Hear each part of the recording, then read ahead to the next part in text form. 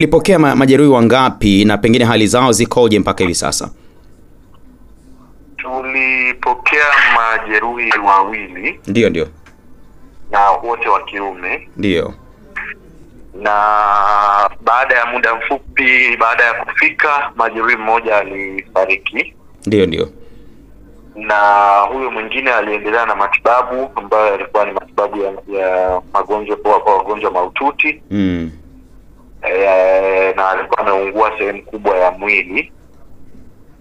Kwa hiyo tulifanikiwa kuweza kumhudumia na kumpeleka kwenye chumba cha uangalizi maalum kwa maana ya ICU,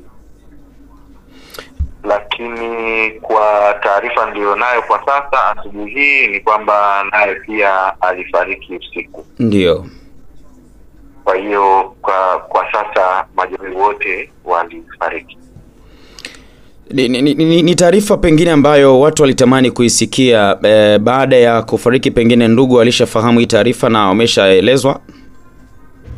Ah, mpaka kwa kwa muda huu, kwa sababu walivyokuja hawakuja na ndugu na hawakuwa wamesindikizwa na na wale e, wahusika kutoka kule kiwandani. Mm. Kwa hiyo ninaamini hii taarifa bado haija haijafika huko. Sasa pengine hawa ambayo mm. bado haija haijatoka.